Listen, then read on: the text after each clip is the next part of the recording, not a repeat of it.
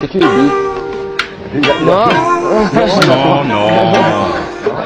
Alors change de plume.